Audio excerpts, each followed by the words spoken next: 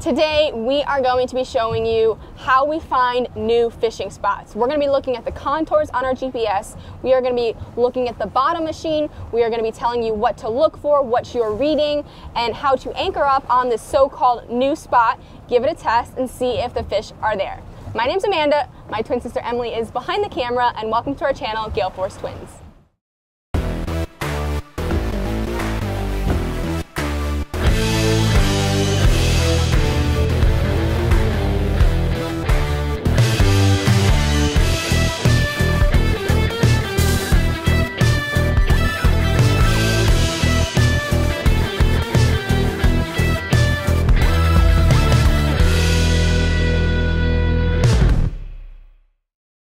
Before we head out to the reef and use our bottom machine to see what the bottom looks like, we are going to use our actual chart and GPS and look at the contours and pick the spot that we want to go look at with our bottom machine first. If your GPS has a fishing chart, I always recommend grabbing the fishing chart. It is the same as the nav chart, but it's going to have extra details in the contours. So let's go ahead and grab our fishing chart. We want to look at the biggest differences in water depth. That's a great place to start. So we can see right here, we have 13 feet, goes down to 46, and not far off, 52. That's a great area to consider fishing. Another thing that Emily saw was good. We have seven, right here, a seven foot height, drops down to 20, 26, 59. That's another great area. You wanna look where if you see a bunch of really, really tight lines, that means that the drop off is extra quick. It's extra, extra fast, steep. extra steep, as opposed to gradual. So if you see something nice and tight or a big jump in water depth, that's a great place to say, I'm gonna go look in this area, turn your bottom machine on and start driving around. Not to mention, even just trying out different, where you see these circles and these, these shapes, these could be coral heads out there, guys. And for the most part, we're gonna have to get out there and try it. There's no okay, this is gonna be good. We don't know, but we're gonna have to try it. So oh. when you see stuff, like you see these different shapes around here, those are areas that you're gonna wanna give them a try. We have now driven out to what we thought looked good on the fishing chart and we are going to turn our bottom machine on and see what it looks like and drive around in the general area until we find something that looks worthy of anchoring and chumming on. The ideal speed to read your bottom machine is one to three miles per hour. I'm traveling two and a half, two knots so I really don't want to go any faster that, than that. So for me, that's both motors just in gear. And we're gonna look at the machine. We're gonna see what we see on the bottom. So looking at all these little blue dots, that's probably bait, small fish. It's not exactly what I want to see right now. So we are just gonna continue traveling in a straight line. And our primary focus is going to be right here on the right side of the screen. That is live action. That is what is happening underneath the boat. Right, so I want to point out that the right side, that is as we pass over fish. The left side, this is old. So if you guys see something over here that you didn't realize you saw you already earlier, passed it. You already passed it. So if you want to hit mark or something, just know that you're not exactly on it anymore. So it's really important to note that. This is my first sign of structure right here. You see those the blue and red above the red. So this red right here, that's all bottom and sand. But seeing right here, the that, yellow, the yellow and the blue, that's either a group of fish hanging out, it could be a little piece of coral coming up, but whatever it is, that's what we're looking for. Now I would like to see more of it, but as we're continuing, you can see there's blue lines over all this red, and that's a good sign. That's showing me that there is now something on the bottom right where I am. Maybe I wanna look for something a little better, but it's a good place to start. Right here we have some yellow above the red. So we're not looking at the red, we're looking at what's above the red. We have blue, we have yellow, and that's what we're looking for to see if there's holding fish or if there's structure. Right there, that yellow boomerang, that's a fish for sure. That could be a large yellowtail snapper, depending on where we're fishing. Could be a small shark. I don't think it's a shark, I think it's a snapper of some sort. Well, that looks good, Amanda. That looks good right there. All right, so you guys see the yellow and blue right above the red? That's what we're looking for. The red is just the bottom, so don't pay attention necessarily to the red, but pay attention to the whatever is sitting right on top, top of the red, it, yes. or what is up in the water column. All these little white, light blue spots, if it's fuzzy looking, it's typically bait. If it's a really hard, structured dot, then it's typically a fish. While we wait for something a bit more promising to show up on the screen, let's talk about the bumps on the bottom. Yes, so you see how these red bumps, they go up and down, up and down, up and down. That is actually not what the bottom is doing. That is what your boat is doing in the waves. So it's reading the bottom depending on how far the boat is from the bottom. I hope that made sense. Think about it, if you're at the top of the wave, you might be in 32 feet of water. At the bottom of the wave, you might be in 30 feet of water. And that is what those bumps are. And here we go, that looks good. So now I'm starting to see something a little bit interesting. It's not just red, we have blue and yellow that's sitting right on top of the red. Not, not only that, we have all these blue dots above it. So that could be bait sitting above something. And that is something good to look for. So that might be something to keep in mind maybe go ahead push mark on my screen, but keep driving around and keep looking. And just remember I had that spot that kind of looked good. You can see that that area that we saw is now on the far left side of the screen, which means that it's pretty far behind the boat. And we're just gonna keep paying attention to what's coming in live right now. And again, while we wait, we were just talking about the bumps on the bottom being the waves. So on a calm day, guys, your bottom machine might look less bumpy.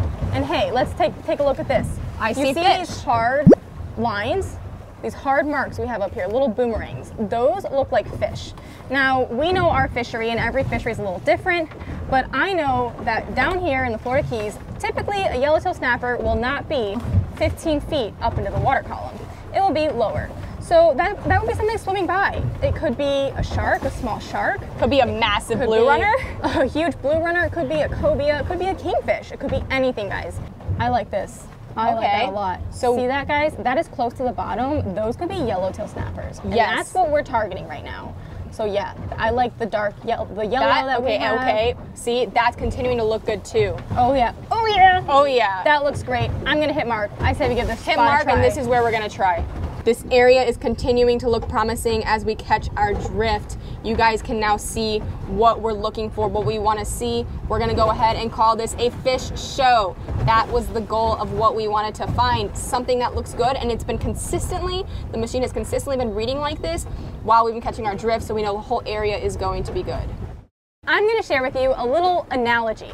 So let's talk about this. Picture a swimming pool and picture a bowling ball. And let's say you go to that swimming pool and you drop a big bowling ball. What's going to happen to that water? You're going to see really big ripples really far apart. And those ripples are going to travel far. So it's going to go from one end all the way to the other end. Okay? That is low frequency. Now, let's say you have a ping pong ball and you drop a ping pong ball in that swimming pool and you drop it. You know what's going to happen? You're going to see a bunch of teeny tiny little ripples, but they don't go very far. That is high frequency. So when you're fishing your bottom, when you're in deep water, you're to want that low frequency because you want to get all the way to the bottom. When you're in shallow water, you don't need that low frequency, guys. You want that high frequency. So high frequency will show you more details, but in shorter distances. Low frequency will show you less details, but in deeper distances, deeper water. Some bottom machines even have the ability, guys, to read in both frequencies at the same time. They can read in a combination of high and low, so you get the benefits of those details of the ping pong ball doing small little waves throughout the swimming pool, but then you also have the benefits of the bowling ball dropping really big waves and reaching far, far depths. We are now anchored at our spot, and I'm going to give you a trick on how to know if your anchor is holding. Go ahead, look at the GPS right here. Look at your speed. It hits zero knots, and it's going to constantly bounce between 0.2 zero knots. Maybe it'll go up to a half a knot, but zero knots. And what that means is the boat's swinging, but as long as it always comes back to zero knots, you know your anchor is holding. We are 29 feet away from our destination that we marked, which is a really good place to be on the reef. We have the chum over this side, and a trick that you can do is you can wait and chum for 20, 30 minutes before even putting a line out, which gives the fish time to come up and not be afraid of you. They're not so shy. And now the next step And at the little ones fill up. and the little ones fill up. That's the thing if you're targeting snappers, especially the little ones will come up, they'll get full, they will leave, and then the big ones will be there for you to catch. So at this point, the next the next step is to start fishing and see if we like the spot. I would recommend giving any fishing spot 30 to 40 minutes, an hour if it needs it. No more than an hour. If you're not getting a bite within an hour, I say go try another one. It is the moment of truth, the moment that we see if we read our bottom machine right, if the Well, snappers no, are here. We know we read it right. It's just a matter of what's here. What is here exactly? Are we going to catch grunts? Are we going to catch snappers? Are we going to catch blue runners? Mangroves, mangroves, yellowtails. yellowtails, muttons. This is that moment of truth. We are going to start fishing and see what we find. Ideally, if I see, if I catch a snapper within the first five minutes, I know it's a good area to start and continue chumming. Oh, fish on! got a fish on! That was quick. That was so really quick. quick. Here we go. What do you we have? Do you think it's a yellowtail? It feels like a yellowtail. Oh, it's a yellowtail. It's a baby lane. Wait, no, it's a lane. It's a lane. It's a lane. It's a baby let's check lane snapper. Come on. Here we have our lane snapper. You can see why they have those clear yellow lines on them with the pink tail. Pretty cute guy. I'm gonna get him back in the water really quickly. So we're gonna send him home. Away he goes. And that's a good place to start. Okay, we know there's fish here, but I'm gonna see if there's something a little bigger. I'm on. You're on. We got a fish on. What do we All right. have? Let's check it out. We got something on.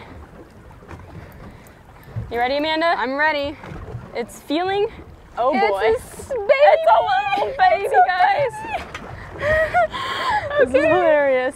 Here we All right, go. let's dehook this little That guy. That is the first yellowtail snapper we've seen here, though, so that is a so good sign. There's a there was a lane and a yellowtail.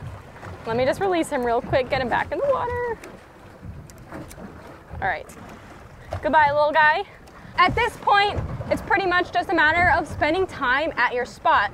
To be honest, we've caught two fish so far in what, 10 minutes, Amanda? In less Both- than in 10 less than 10 minutes? They're both small, but I wouldn't give up yet. I'd probably say maybe spend another 20 minutes here, see if the fish get bigger, see if the bite picks up. But for the most part, we know there's fish here. So that's pretty much what you're gonna do, guys. You're gonna look for it on the contour line, you're gonna turn your bottom machine on, you're gonna drive around, and you're gonna say, I'm gonna try that spot. You're gonna give it a try. We hope you found this video helpful. We hope you learned something. If you did, put in your comments, give us your thoughts.